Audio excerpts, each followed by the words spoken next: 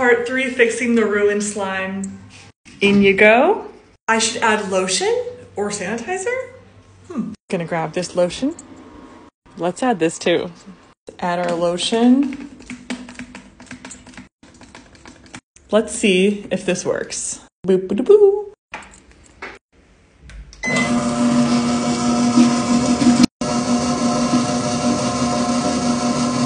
I think I ruined it more.